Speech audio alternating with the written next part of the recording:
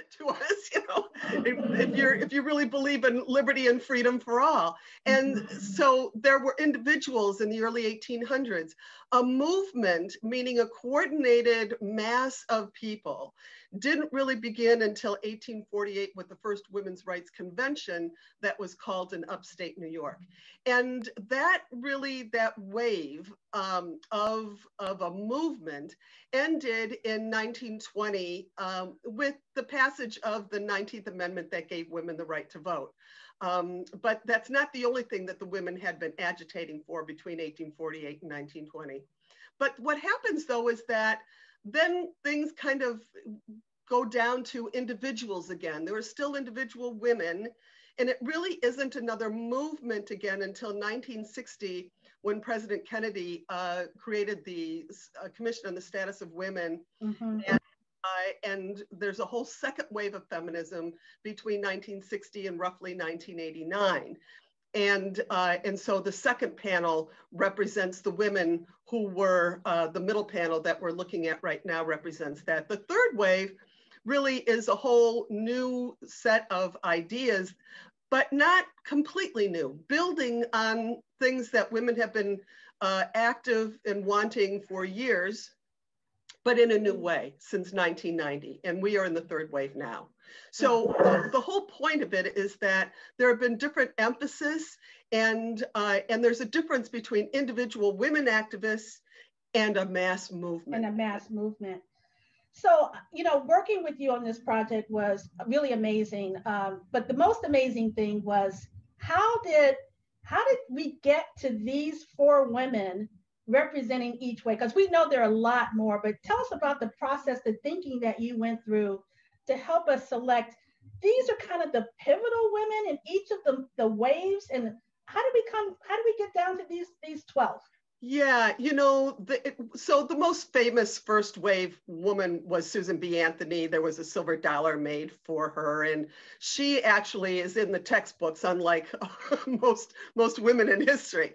Um, and so we we figured, well, she's already had a lot of, um, yeah. you know, yeah, a lot. She's known, yeah. yeah. Yeah, and there are a lot of other women as well. Um, but there are women that we don't know. And uh, so while Susan B. Anthony has the main quote going around that first mural, um, not another season of silence, um, the other women there are both known and not so well known. So Elizabeth Cady Stanton and Susan B. Anthony for 50 years had a partnership uh, to, for women to have the right to vote, but also so that married women could er, are, were entitled to their own money that they earn, or a lot of other rights, the, uh, the ability to enter into a profession uh, that women were not allowed to enter into, and so forth. So Elizabeth Cady Stanton is there because she's not as well known as Susan B. Anthony is, but their partnership really was from 1851 uh, or two until 1902 when uh, Stanton died. So they were they were called the most dangerous political partnership uh, of their time. And uh, Alice Paul is somebody who was really in the uh, the radical wing of the younger women who picked up the uh, leadership of the movement after 1900. And uh, Ida B. Wells is someone who was an activist in so many ways. Not only did she fight for women's rights to vote, but she also was a founder uh, of several Black women's organizations. She was one of the co-founders of the NAACP. Um, and so for her, winning the right to vote for women was a matter of life or death because one of the main things that she worked towards was to end lynching. And her anti-lynching movement tied in with her demand for the right to vote and Charlotte, uh, Charlotte Baker, Dr. Charlotte Baker, uh, was our first uh, MD and very, very politically active and politically savvy and a power player in New San Diego after 1900. And so, so, so, so Sue, I know we're not going to be able to go in depth all on all of these right. women, but I want to ask you a question. When we got to the first wave, we had a hard time narrowing it down. Was there anyone in the first wave that you really think that we should have been, if we could have fit her in somewhere in a corner, that you wish that we could have included and we had to cut her because of space? Who would you have said you would love to get her in there too? That's that's a, a hard hard question. There, I, I can think of two really. One is Mary Church Terrell, who was oh, yeah. a, a, black woman uh, activist and um, did so much. And um, and I guess the other one would be Anthony herself, because while people, I think that she's been um, she's been stereotyped in so many ways. Mm-hmm. Uh, she was the one who was on the road and she was single. Stanton was the one having babies in a home and doing the writing so that Anthony could give the speeches. Right, right. So tell us about the second wave. Why these four ladies? Oh, now this one was really hard for uh, for us because you know Gloria Steinem is is arguably Gloria Steinem and Betty Friedan are the two best known uh, feminists of the second wave. But um, but Gloria Steinem has had a TV series made of her on Hulu recently. She's gotten a lot of good press. So Betty Friedan did make it into it because her book, The Feminine Mystique, that came out in 63, really did help launch a mass movement um, that lasted for, for decades in the second wave. Um, and uh, Wilma Mankiller is somebody that people don't really um, think of when they think about second wave feminism because she was uh, the president of the Cherokee Nation and she was really known for her um, for participating in indigenous rights. But she and Gloria Steinem were very close friends, were in, in the feminist trenches together.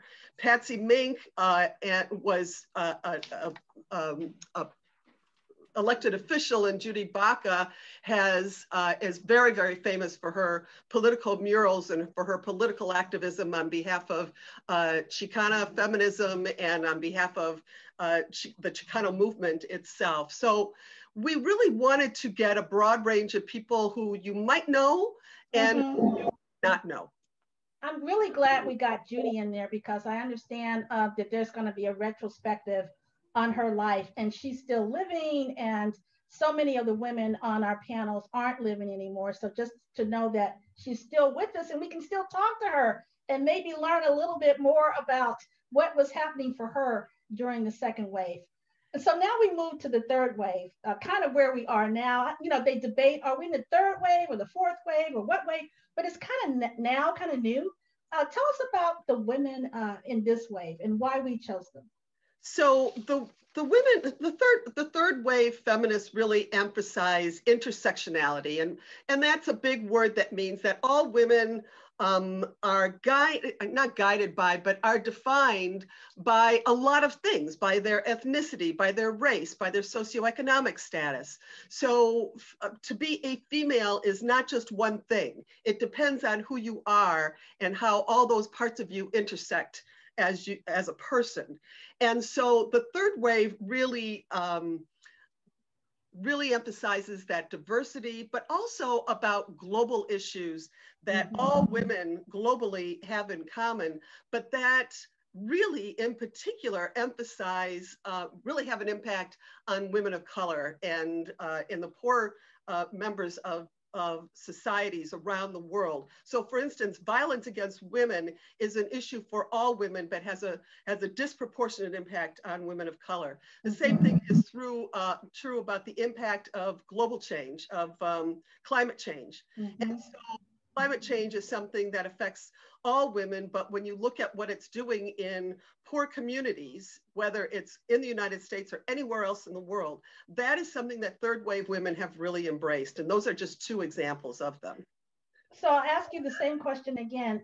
In the second wave or the third wave, who would you have liked to have squeezed in somehow because they were really, really also pivotal women in those two waves? Uh, um, oh gosh, and now I'm drawing a blank of the, the, the black legal feminist who really coined the term intersectionality. Um, um, oh, I know who you're talking about. Crenshaw. Yeah, yeah. Kimberly yeah. Crenshaw. Yeah, Kimberly um, Crenshaw. Yes, yes. Kimberly Crenshaw, and thank you to my spouse in the next room who shouted that out to me. and um, so yeah, I mean, she she really she really uh, coined that term, and as a legal theorist, you know, has really done a lot to move move the academic ideas of the third wave into mainstream. Uh, and Rebecca Walker perhaps has done that uh, more than anybody else. Um, the other people that I would um, want to include, I think, in both the second and the lead into the third wave would be uh, the, the lesbian couple, uh, Martin and Lyon, who oh. Uh, really brought lesbian ideas into the forefront beginning in the 1950s, even before the second wave, all through the second wave of feminism, and then have been around to participate in, for instance, um, uh, gay marriage and things mm-hmm. that part of the mm-hmm. third wave as yeah. well. So, uh, so yes, the that Eve Ensler is is a wonderful artist uh, writer. Uh, Gloria Anzaldúa has has done just um, amazing things in helping us to understand how people, how one person, one human being can themselves be a border, you know, between mm-hmm. Cultures and between um, identities. And um, and Janet uh, Janet Mock too, who has uh, done. She's young, she's new on the scene. But, but it's all about trans rights, which is something that we haven't had a chance to talk about a lot. Absolutely. Yeah. She yeah. herself is also someone who is that, who has that, um, who transcends just one identity, which is what the Absolutely.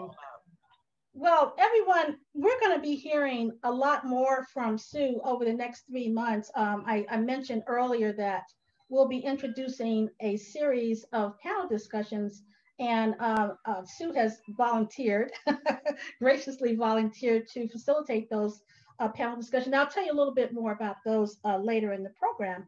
But now um, I really want, thank you, Sue, for, for that introduction to the, the waves of feminism in, in 10 minutes. And you know, that was, we're talking about how many years? 50 years or something like that, 100 years, 100 years of history. Um, so now I'm really happy to introduce uh, Katie Ruiz, uh, the artist who brought the waves of feminism to life uh, what you should know about Katie is that she's a local Chicana artist who received her undergraduate training at Northern Arizona University and graduate training at the New York Studio School of Drawing, Painting, and Sculpture. Uh, she's uh, with faculty uh, with the San Diego Community College District. I love those community colleges. They uh, pr produce great people and, and employ great people. And she's also at the Athenaeum School of Arts. Uh, she's a visiting teacher with the New York Studio School. So uh, welcome, Katie, and thank you again for answering the call, for saying yes when we put out the call for an artist. And um, I think the community is going to absolutely love and engaging uh, with your work. And thank you for producing the in process uh, video at the beginning of the show. It was, it was just, uh, you know, and I, I just got a sense that this was a very personal project for you, just not another gig. So just a few questions for you with my Oprah hat on. Um, so why did you answer the call? What was it about this project that intrigued you that made you want to work on the waves of feminism? Well, uh, thank you for having me and choosing my work for the mural project, um, I saw the call out and I thought it was in alignment with my belief system. I have always been a feminist, whether the, that specific word resonates with people or not. I think, uh, you know, I've always fought for equality and I've um, every day start seeing more and more of those disparities between women and men. Um, just on a daily basis as I educate myself in this world. And I've always had a real interest in who writes the history books, and it sure wasn't women. and um, the winners write the history books. And so in art school, first, you know, in the history class as well, the story just didn't really, I didn't see myself in the story. Um, and I am I am mixed race, and I I do have a European background, and so I did see half of myself, but I was missing the other half of myself. And I didn't even know what a Chicana was at the time, um, but I knew something was off. And uh, in in community college, I wrote my thesis paper on women in the art because I thought, well, we need to know about these women. And so I thought I knew so much. And then I met you all. and I was so flattered um, that you chose me. And I also think that my feminism has always come from a different angle. I was always had my, you can look at my work and it's super feminine uh, in a lot of ways. Uh, very much about honoring cycles and very much about um, learning how to love myself as a woman. Mm-hmm. So, in that process of self healing, I also became a feminist. And this has just become another level of it because um, as Sue helped us, and we had these great meetings discussing these women, where I um, I said not as much because I felt like, gosh, they, you know, you were are so educated, and I've had clinging on to a few women, and this really broke that open for me. So you know, I'm really grateful to have learned so much. Um, so I bet those few women was Susan B. Anthony, right? You knew uh, about her, right? Sojourner yeah. Truth, right? For sure, absolutely. Um, and then, of course, you know, because I had uh, this whole package of female artists, I was really interested in as well. But I sort of had missed uh, some of the greater feminist classes. And I was thinking about this today. I've never taken a class on feminism. I've never taken a Chicano studies class, Alessandra. We're going to have to rectify that. and I've never even taken a color theory class, but I, I sort of consider myself a, a very having a lot of knowledge in all those things. But um, well, you were perfect for the project. Absolutely. So after you said yes, and you you said you know we we had a lot of meetings about this project what did you find most challenging about getting into this the, the heads of these women? And i know that you had to bond with them and learn about them. What did you find fulfilling and what did you find challenging? Well uh, portraits are intimidating for one um, and i love although i love them and that's what my education is in you really want to honor each woman. And so i did spend time while i was painting each woman also watching YouTube videos on them and listening to their speeches and really trying to get a grasp on the not just one thing each one of them did, but huge amounts of things each one of them did. And um, I know, you know, the process, uh, this this handy dandy doodad, the iPad, has changed all artists' lives who know how to use it. They even make a, a pencil you know, so I can draw like a regular artist. And I was able to draw those out um, once we decided on the women. Um, and speaking about the process and going into that, um, how the colors of the mood of each piece we wanted was going to affect what we were going for. Um, I really, you know, think a lot about the suffrage movement and I think about the banners and I think yeah. about these ladies in skirts just yeah. going through the streets and everyone's like, who are these crazy ladies? and and it seems so wild at the time. And now it's a really important pivotal thing to be able to do that. Um, so and for the second wave, you know, we're thinking about the 70s and right. so we wanted to do more of those oranges. Yeah, pop colors that really pop. Big flowers behind and have symbolism for each woman that depicted uh, what they were doing. And um, I think one of the favorites is Judy holding up her fist paintbrush. Uh, and that's yeah. sort of a play on my printmaking class where I did a brayer, um, hand holding up the brayer with the sort of si se puede hand. Um, so coming up with, and the, the third wave, you know, all of us were talking, I, all we could think about was the wave of pink hats that we all saw. That's right. right. It's just a huge wave of pink hats. And so that one seemed really applicable. It had to be pink. It had to be this big wave and with the the I am the third wave uh, token. That made a lot. The other thing I noticed about your work is that your use of your graphic design. It has the kind of kind of graffiti like. It's kind of like you were there and you just writing on the wall. Tell us a little bit about where that comes from. Is this more of a Chicana thing of uh, drawing on the, the graffiti or, you know, why the text? Hey, that's cool. I like I like that. And um, I lived in New York City and I fell in love with street art and mm-hmm. I started looking up the artists whose work I would find. People like Swoon is one of my favorites. She was doing um, uh, wheat paste, but they're linoleum cuts. And I think that's also where my background comes in with that uh, bold lettering is the linoleum mm-hmm. cuts, mm-hmm. which is something I learned printmaking in Guanajuato, Mexico. Um, and it's interesting because I never considered myself using text in my work, but I, I sure do. You sure did, um, yeah. yeah, I'm gonna show. I made this poster right from printmaking class. Ah. Uh, uh, you yeah. know, and it's just, it is very, that once you get a cut like that and you cut the black and white and you see how powerful that is, I think you just become very drawn to that look. I love the look. So you fell in love with the women, but which one did you really, really bond with out of all the women whose faces you painted, whose portraits you painted?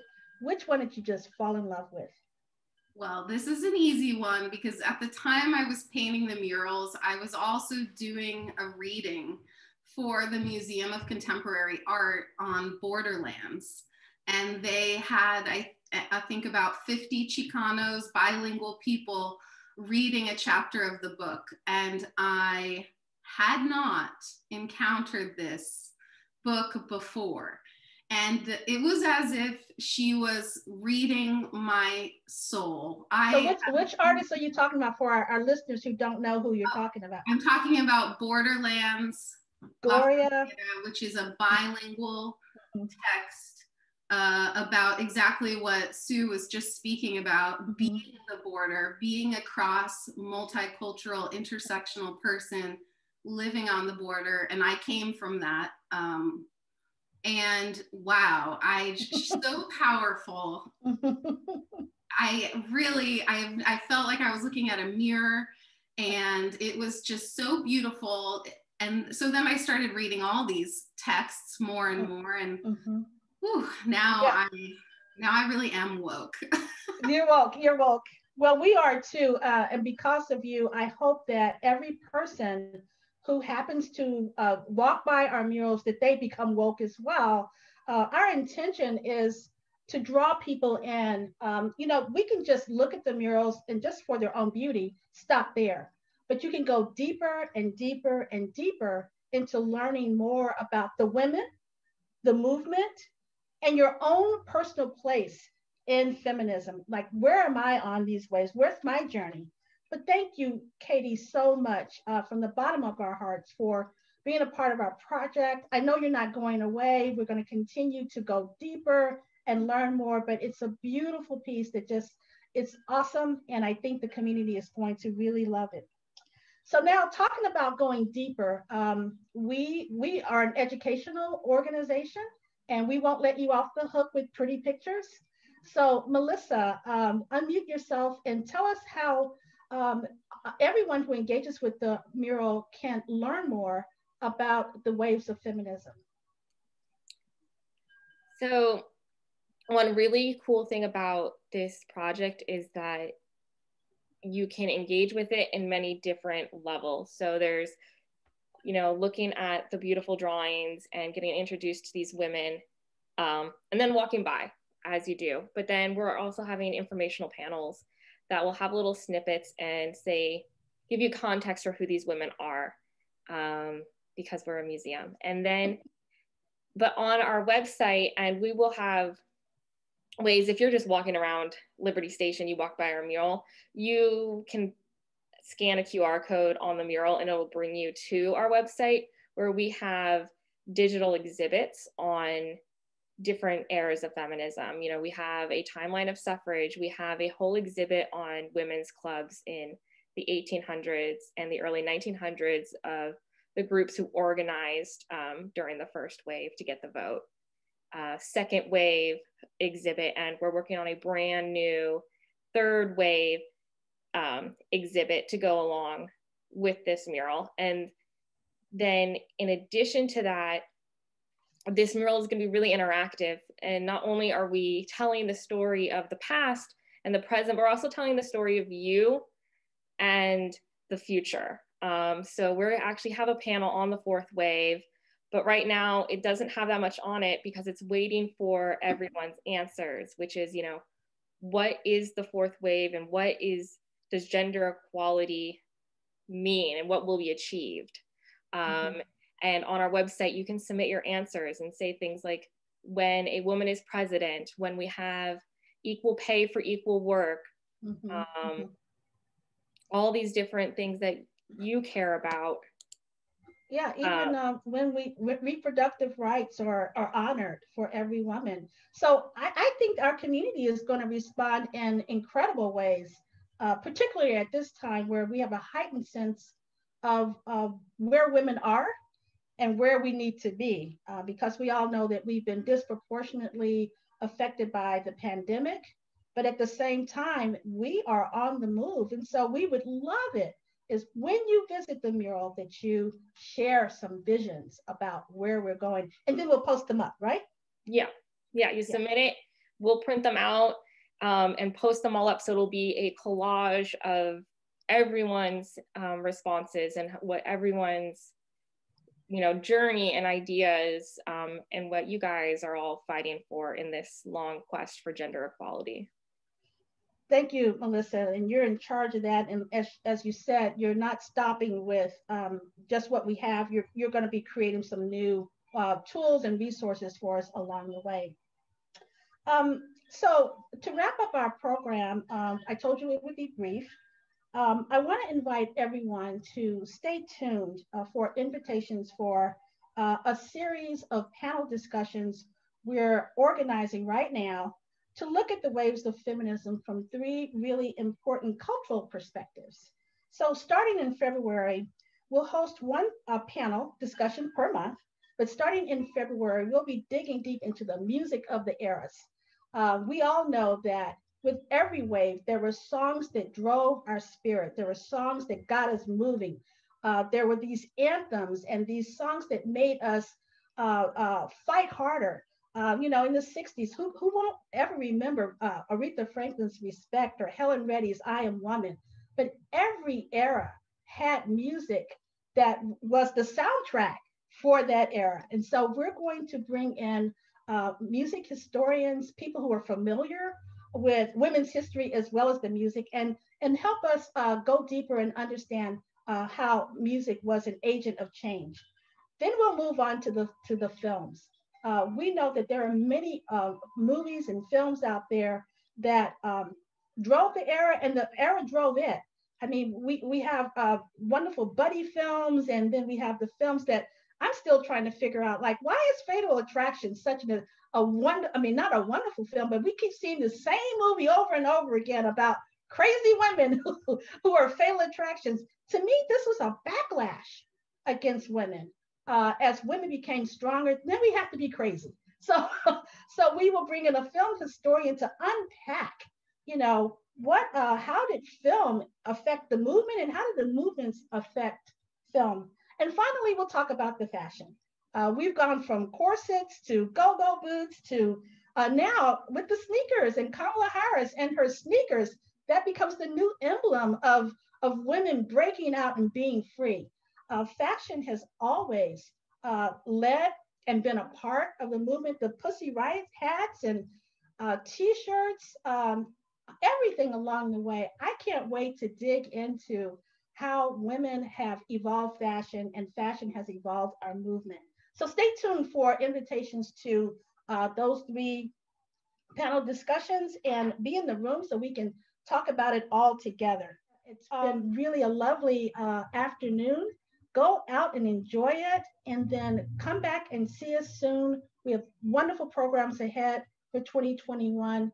Thank you so much on behalf of the Women's Museum of California. Be well. Thank you.